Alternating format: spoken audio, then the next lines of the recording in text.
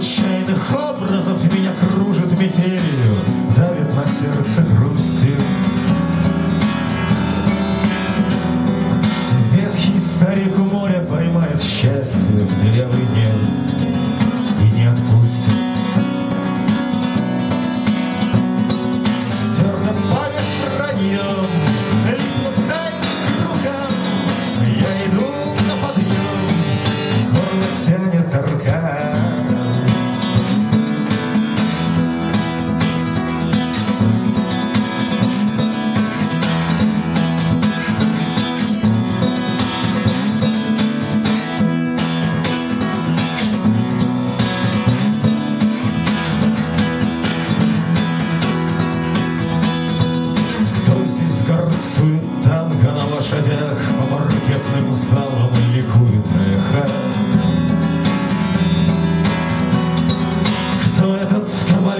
что держит страх у себя в прислуге На случай лиха? Черный рояль в печали Его маэстро ушел в забой Не закончив гамму Делая вид послушного седоку, Ему конь копытами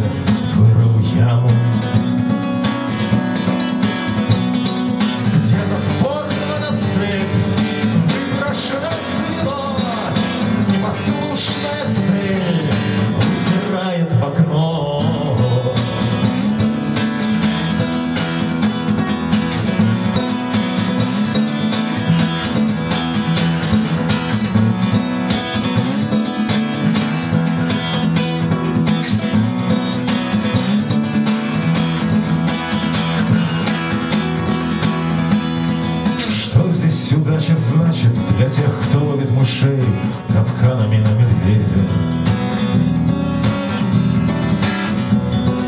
Мальчик, уймись, же мальчик, здесь город Нальчик, откуда в Нальчике к черту лебеди? Ты посиди в сторонке, чини свой примус, а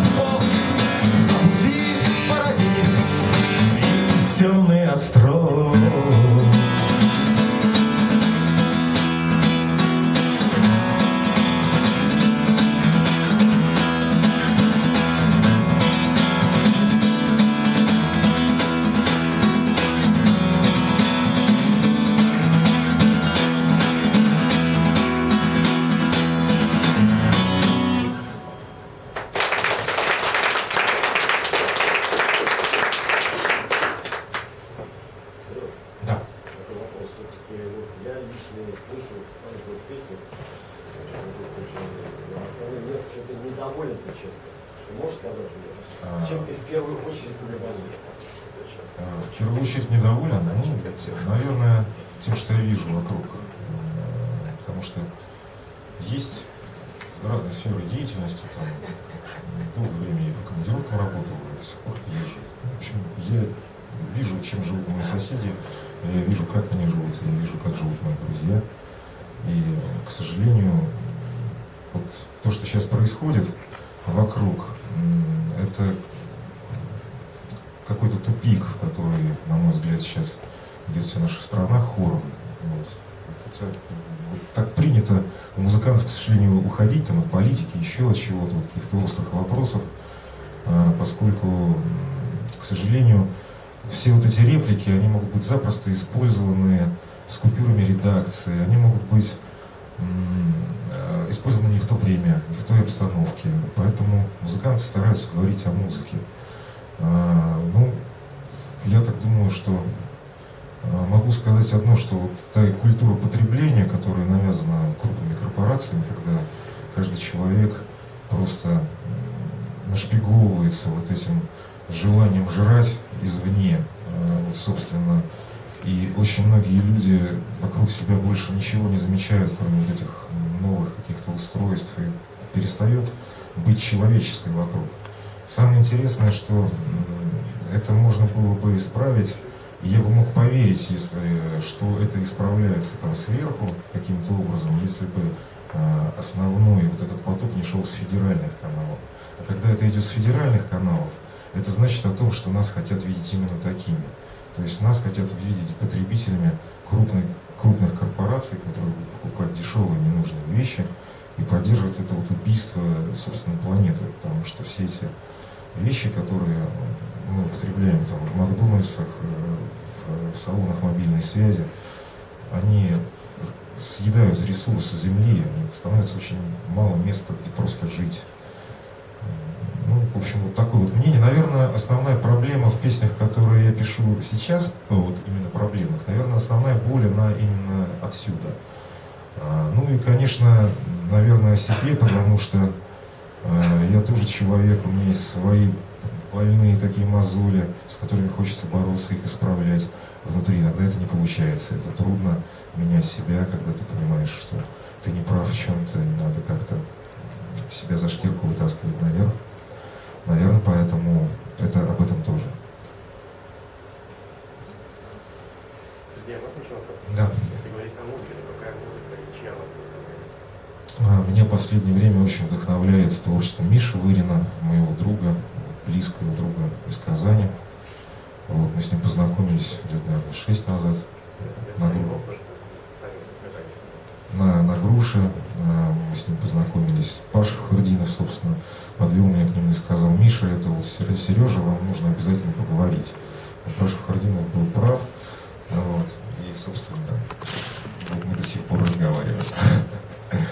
Но, кроме того, конечно, Инна Живанная, то, что она сейчас творит, это потрясающе. А, с электронными вот этими всякими штуками. А, Теодор Бастард мне понравился, звучание коллектива. Кстати, недавно для себя открыл эту отечественную музыку, которую ездит по всей Европе тоже. Но это с музыкальной точки зрения. А с точки зрения музыки, которая не только для ушей, для души, но еще и для размышлений, ну, это, конечно, наш любимый Леша Вдовин. А, это, конечно, Саша Луганов. И все наши вот а, друзья, которыми, которые очень часто появляются в Содружестве Дождя на тех или иных мероприятиях. Но помимо них, конечно, есть еще какой-то пласт людей, начиная от Александра Мирзаяна, если говорить об авторской песне, и заканчивая э, какими-нибудь там э, Федоровым, например, аукционом, там, аквариумом и так далее. Наверное, так. Вообще очень люблю слушать что-то новое, когда попадается в хорошие записи действительно что-то интересное, стараюсь это не упускать и, как правило, осмысливаю. А, кстати, очень хочу отметить вот э, Калугина с точки зрения работы над звуком, что, насколько я знаю, они все делают сами на своей студии, и как они делают электрические аранжировки, это, конечно, фантастика, потому что самим это добиться очень сложно. Вот. Как звучат барабаны, как все вот это вот сделать, это вообще отлично, на мой взгляд. А еще вопрос из рубки да. по поводу прозвучавшей песни. Вот это все время это слово про мальчика там всегда остается из. Это лирический да, герой, который, ну, вот э, дело в том, что когда у нас Причем ребята... там лебеди. Да, да, да, да, да. Был такой момент, у нас сотрудники ездили в командировку, когда я ставил там АТС в Тюмени где-то там за, за Уралом далеко телефонные станции монтировал. У нас ребята ездили в славный город Моздок, вот, собственно, и встречали их с автоматами, и, в общем-то, провожали их до места работы с собаками. И очень интересно, как там жили люди. Это была девятиэтажка, вокруг нее, э, собственно, была колючая проволока, с полоса вот это вот, как пограничники, знаете, где собаки бегают. Э, и, собственно, в этой девятиэтажке жили семьи военных. А когда выходила машина для того, чтобы куда-то кого-то увезти, сначала выходила саперная группа для того, чтобы все это заминировать. И, собственно, вот этот э, не разбудившийся нальчик, он на самом деле есть во многих-многих точках нашей страны. Э, И что хочу сказать, э, вот в этих песнях, э, которые на альбоме «Карусель», там за каждым образом что-то стоит. То есть я вообще не допускаю э, какую-то вот для себя пустоту.